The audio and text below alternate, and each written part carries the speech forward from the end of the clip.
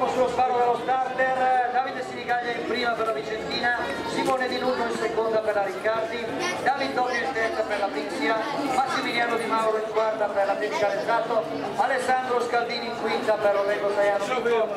Alessandro Diallo in sesta per la Tecnica Novata.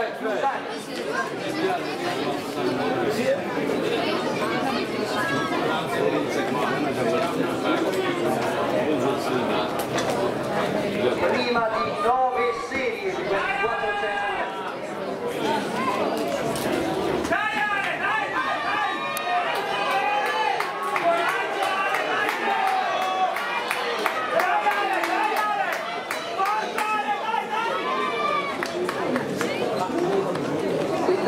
49 60